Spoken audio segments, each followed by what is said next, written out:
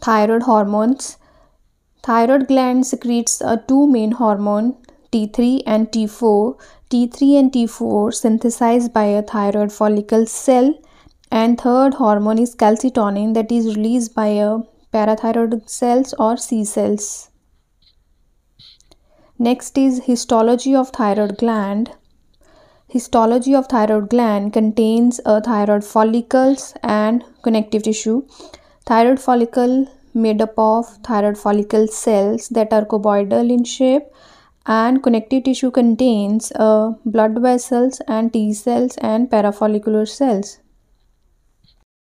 Thyroid hormone synthesis active transport of iodide from the blood into the thyroid follicle cell by sodium iodide transporter present in the basolateral membrane takes place. Then this iodide move from the basolateral surface of thyroid follicle to the luminal surface of thyroid follicle where this iodide oxidized by a peroxidase enzymes present in the luminal membrane to form a iodide.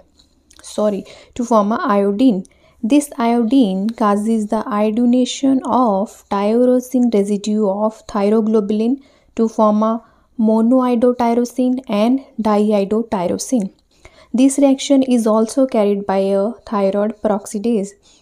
After this reaction, a coupling of iodotyrosine molecule within the thyroglobulin to form a T4 and T3. This reaction is also carried by a thyroid peroxidase.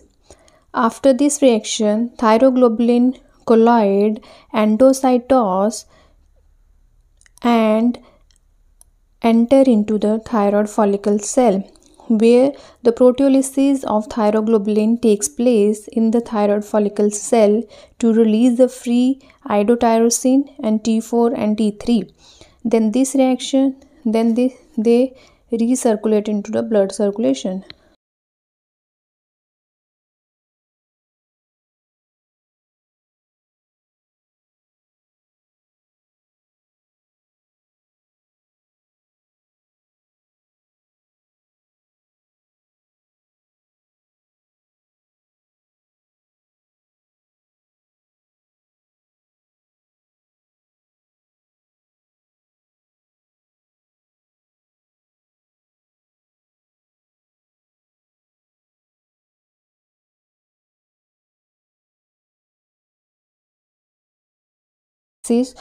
Or regulation of thyroid hormone.